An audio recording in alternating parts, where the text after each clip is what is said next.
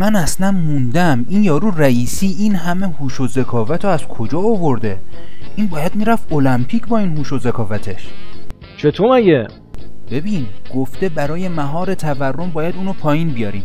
برای رفع مشکل بیکاری باید اشتغال ایجاد کنیم. برای مبارزه با فساد هم باید اونو از بین ببریم.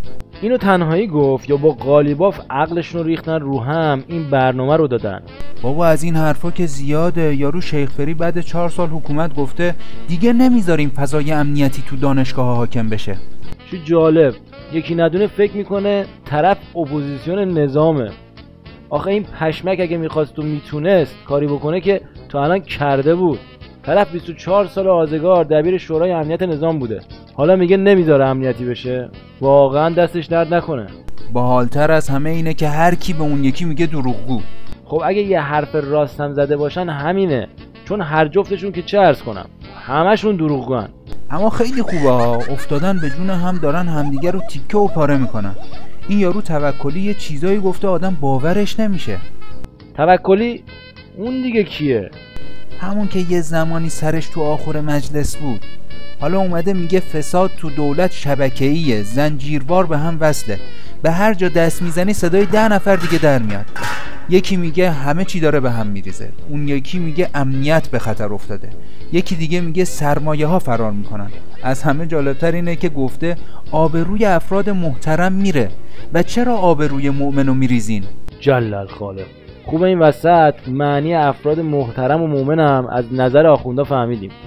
هرچی دزد و شارلاتان و قاتله یه جای حکومت رو گرفته اسم خودشو گذاشته محترم و مؤمن. اما جف خیلی باحال شده. دم انتخابات شدن مثل خروس جنگی همش میپرن به هم.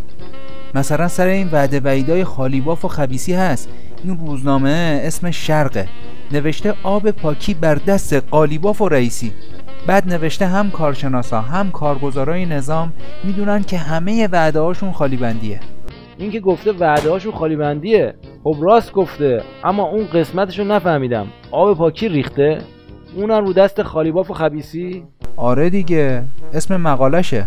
بابا بر اساس شریعت هم که شده اول باید عین نجاست رو از بین برد بعد آب پاکی رو ریخت. رو نجاست که نمیشه آب پاکی ریخت. خب یعنی چی؟ او تو هم دوزاریت وقتی میفته که باج تلفن رفته تو موزه. یعنی کلا همشون از خالیباف و خبیسی گرفته تا اون شیخ فری و جهانگیری و اون دوتا توپ جمع کنه دیگه.